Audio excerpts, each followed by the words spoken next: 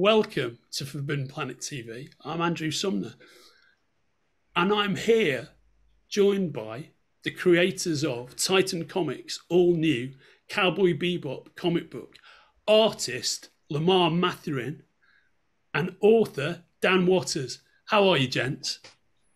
Really good. Happy to be here. It's great to see you both. You are here, of course, to talk about my friends at Titan Comics' all new Cowboy Bebop uh, comic book, which is tying into the new Netflix series, which has just debuted. So, so guys, if we could take a step back, could you tell me how you both got involved with the project? Um, I feel like Andrew should say his part first, since he's the one that probably helped find me. um, yeah, I mean, I mean, I was I was approached um, and I was asked, I was I was asked just out the gate, like, you know, have you ever seen Cowboy Bebop?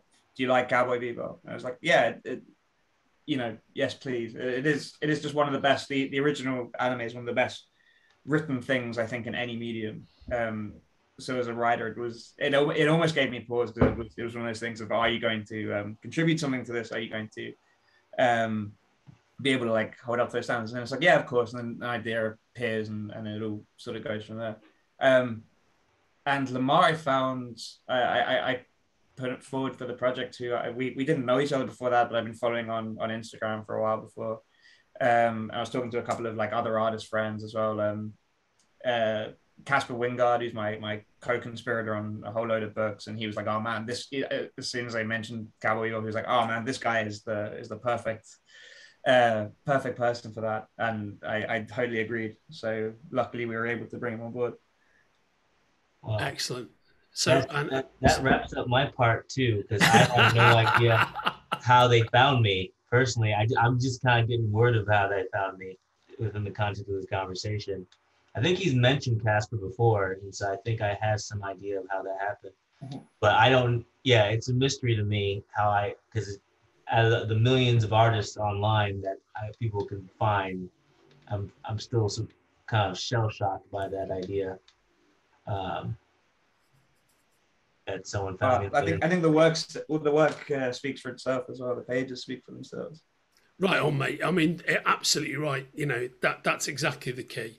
I mean, I think both of you are producing beautiful work on this book. And um, what can you tell me about what we can expect from this first arc from Cowboy Bebop? Oh boy. Um, every everything everything from bebop and, and hopefully a few surprises along the way because what would it you know how would it be bebop without doing something kind of weird and, and trying something new? Um my my sort of thought going into the process was there's the there's the anime which is beloved and there's the the new netflix series which is um, quickly becoming beloved but but no one had seen it at the time we were beginning this process. So working in a in a also in a in a drawn medium like the like the anime, but being tied to the specifically to the Netflix show, I I kind of figured what what our role would be would be to sort of bridge the gap between those two incarnations and show how a story that's in, intrinsically sort of cowboy bebop would sort of work either way. Yeah, I um I'm a huge fan of I mean of the original uh, source material, I pretty much watched it pretty much every year or sometimes twice a year in my downtime or when I was sketching stuff out. So I'm pretty attached to the tone and the atmosphere. I'm very familiar with the atmosphere. And so my my um my goal in drawing, seeing how it's connected to the live action adaptation was to figure out how to capture the actors and the designs of those characters while still keeping the tone of the source material they're basing it off. So I had like a hybrid is what I'm trying to attempt of the the the noir feel of of this, the original with the the new production of what's coming out and then sort of reading within the lines of of the story and where I can pick put those things together as best as possible because it is a collaborative of a, a, medium and it's a collaborative project doing a comic and so working with Dan Watters and Am I saying that right? Watters Yeah. uh, It's put in the I British never say your last name out loud, but trying to figure out how to to, you know, I'm basically the glue here. Is what I'm as I, I I'm describing my my part in this. Um, as far as my skill set allows me to do those things, then I'll do those things. I think I have to say that I, I would, I would, my, my comment at this point for everybody watching this, and everybody who had to check this book out is, these two, these two guys have been, uh, have been very, very humble in their self delivery of what they're delivering on the book. Because what they're delivering on the book is truly special, and I think both from a script and art perspective, you guys are, are, have blown me away in terms of what I thought you might be doing in terms of adapting the show. And, and I think you're right, Lamar. The great thing about the original Cowboy Bebop is it's a beautiful artifact, right? And it's finite as well. You know, it's a it's a nice you can get hold of it and you can watch it at the beginning, the middle, and the end. Yeah. Um, but I think you can see that you guys have got that genuine love for the for, for the piece and for for this for this landscape. So what can what more can you tell me about the landscape of of this Cowboy Bebop world as created by yourselves? um, definitely wanted to take it uh, to some places. Like like like I sort of said, I, I, it wouldn't feel like bebop if we didn't try and do something like new with it and something weird with it. So we're going to some uh, some places in the galaxy that that haven't been uh, explored before. Uh, taking our crew out there, getting them into into all sorts of trouble. Um, yeah, like uh, str- strange places, strange places that haven't uh, where the ISSP haven't haven't managed to get to yet. Um, yeah, like there's there's all of these sort of tones that that the shows, both shows now, uh, carry, um, and I, I kind of wanted to hit all of those beats as much as we could. Hit the hit the comedy beats, hit the western beats, hit the noir beats, um, hit the the you know Jeet Kune Do beats. So lots of explosions, lots of uh, jet planes racing each other, all sorts of things. How about Yeah. yourself, Lamar? Um, so I I don't have much of uh I don't- I don't have much.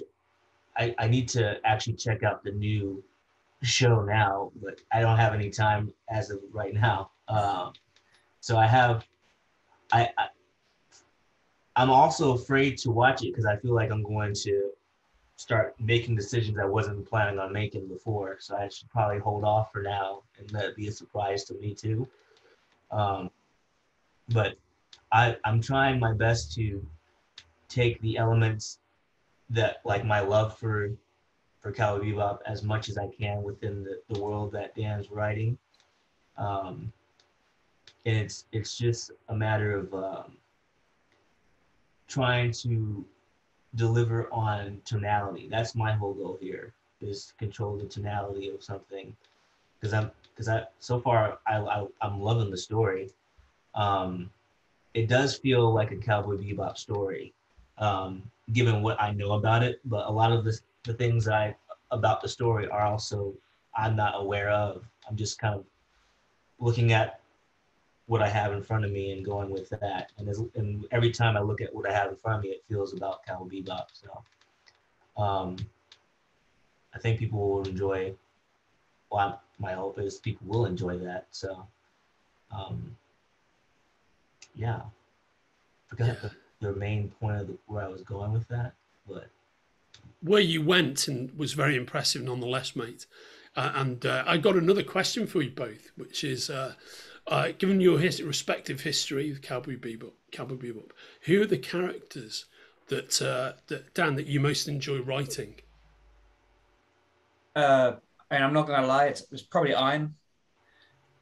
Um, although what I will say is is we're bringing in a a, a new villain who's not uh, who's not been seen before, and he's been a hell of a lot of fun. We sort of looked at the real sort of like classic like like bebop villains and and built one from the ground up, and that's been a real blast. And having him interact with the characters that that we all know so well, and yeah, you know, we've all enjoyed watching. Um, that yeah, that's that's been a real highlight.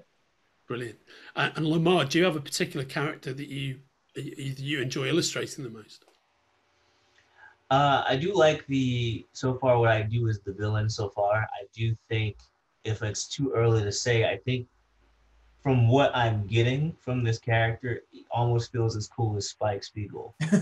Yeah. That's the goal. I think he's. I think Dan's trying to give that character a run for its money. I don't know.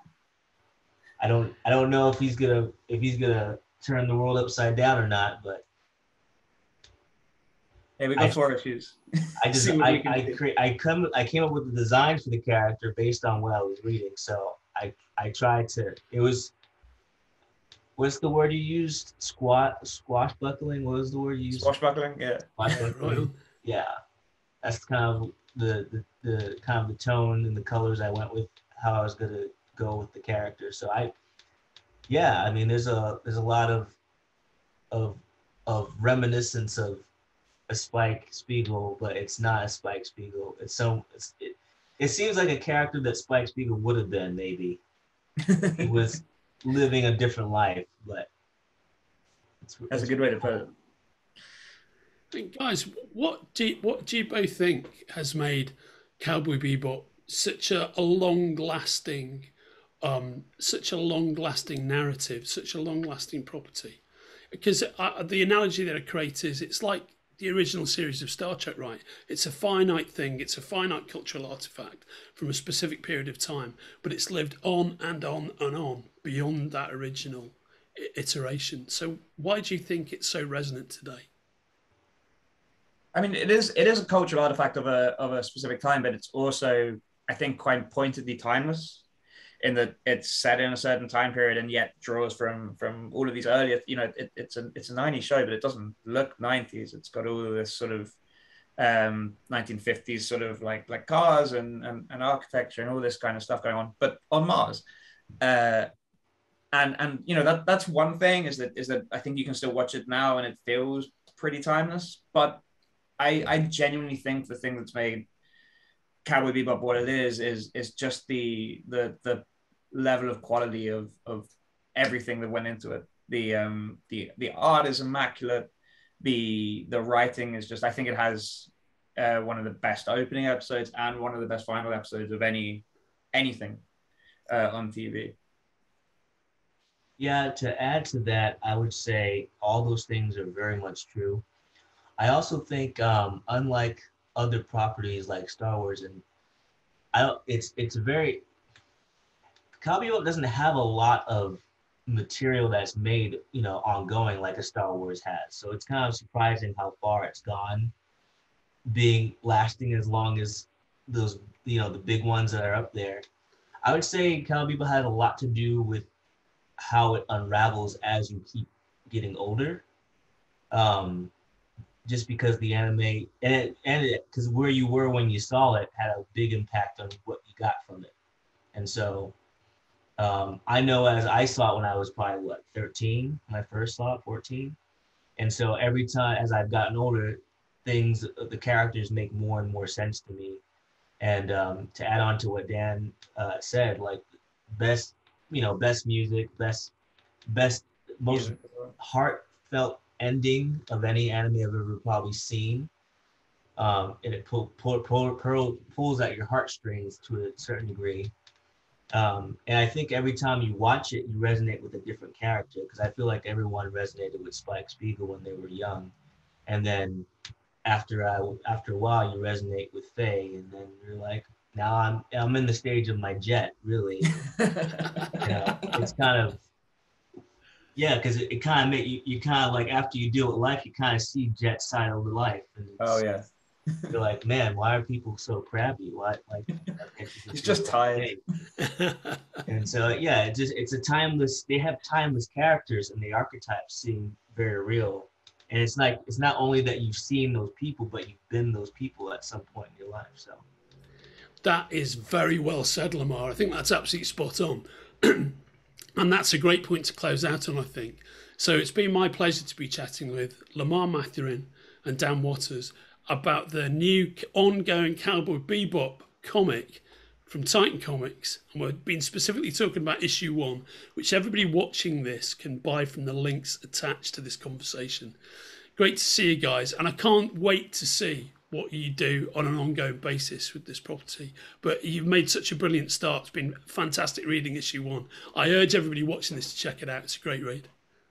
Oh, thanks very much, Andrew. It's been a pleasure. Yeah, take care, gents. All the very Cheers. best. I'll see you soon. Bye. Bye-bye. Take care. Bye bye.